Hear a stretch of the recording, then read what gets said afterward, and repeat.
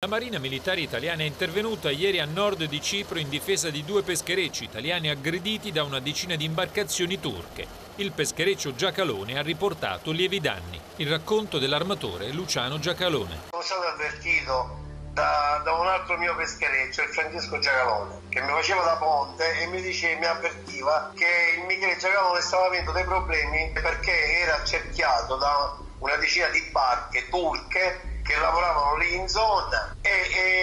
cominciato a tirare delle pietre e dei pezzettini di piombo. Preoccupati i pescatori italiani tirano le reti a bordo, nonostante fossero in acque internazionali. E una volta tirate le reti a bordo li hanno pure speronati, hanno, hanno provato a speronarli, a attaccarli, cioè facendo, facendo, capire che volevano salire a bordo. A questo punto interviene la Marina Militare turca sollecitata dalla Capitaneria di Porto di Roma, avvertita dall'armatore Giacalone. Come italiano abbiamo mandato un elicottero, la Marina Militare ha mandato un elicottero, ma nonostante tutto i turchi, le barche turche non desistevano di, di niente eh, e hanno costretto il peschereccio ad andare via da quella zona. Il 3 maggio il peschereccio Giacalone aveva subito un tentativo di abbordaggio da parte dei libici. È la guerra del pesce che ormai interessa ampi tratti del Mediterraneo e l'Europa fa finta di non vedere.